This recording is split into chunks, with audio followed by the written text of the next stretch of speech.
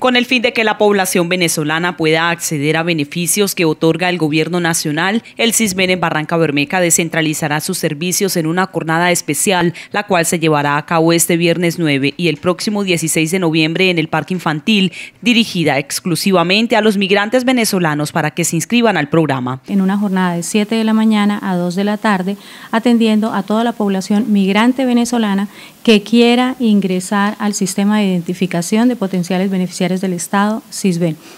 Con eso nosotros pretendemos eh, llegar hasta la comunidad para que la comunidad pueda tener la posibilidad de acceder a los beneficios del Estado. Aunque de acuerdo con el último censo realizado por la Personería, el cual arrojó como resultado el asentamiento de 2.500 venezolanos en Barranca Bermeja, el CISBEN espera atender a por lo menos 400 de estos.